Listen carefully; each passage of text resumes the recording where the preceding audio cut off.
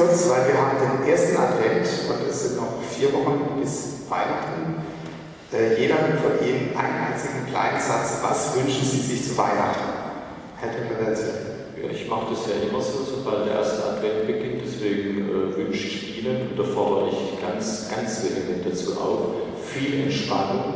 Sagen Sie ganz oft Nein, widerstehen Sie allem Stress, den die Weihnachtszeit inzwischen so für uns alle bereithält. Besinnen Sie sich auf alles, was wir heute schon gehört haben, vielleicht auch nachher noch hier im Gottesdienst hören werden.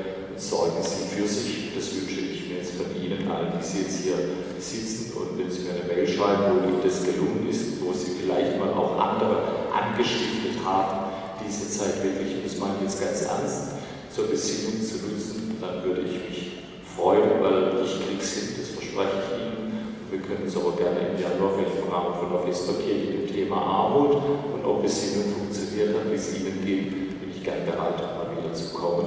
Und dass Sie denken, ich mache ja nur große Sprüche, also nutzen Sie die Zeit für sich und sagen Sie auch Nein. Professor Koshi, uh, what do you wish for Christmas in one sentence? What, do you, what is your wish for Christmas? What? As a Christ, Christmas present.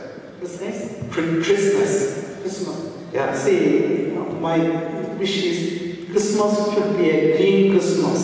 That during Christmas, much violence is taking place against the creation.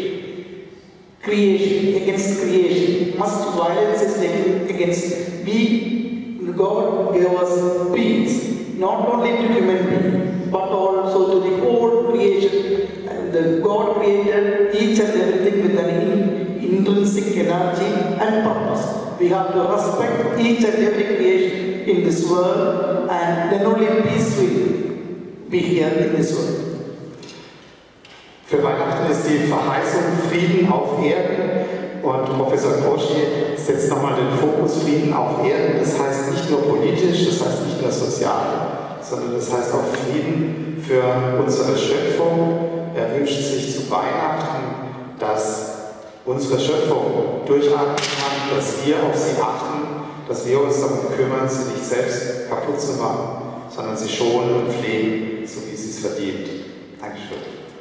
Herr Stoll, was ist Ihr Weihnachtswunsch? Weihnachten oder die Adventszeit hat auch etwas für mich mit, mit Weisheit, mit Klugheit zu tun. Am Ende des Weihnachtsfestes gibt es ja die Weisen aus dem Morgenland. Ich würde mir wünschen, dass in diesen Tagen und Wochen bei den vielfältigen Entscheidungen, die getroffen werden müssen, nicht nur hier in Karlsruhe, sondern auch weltweit und bei den Krisen und Konflikten, dass da viel Weisheit und Klugheit im Spiel ist und nicht nur Machtstreben und Hass und Gewalt. Dankeschön. Ja, und Frau Ditzinger, was wünschen Sie sich zu Weihnachten? Mein Platz auf diesem niederen Stuhl, finde ich, passt hervorragend zu Weihnachten. Wir schauen in die Krippe, in den Stall. Ein Fest des Friedens und das wünsche ich, dass von diesen Tagen, von diesem Kind in der Krippe aus, das Helle, wie wir vorher gesungen haben, in die Dunkelheit scheint und dass Menschen in allen Kulturen und allen Religionen etwas von dieser Friedensbotschaft hören und wir das miteinander leben können. Vielen Dank.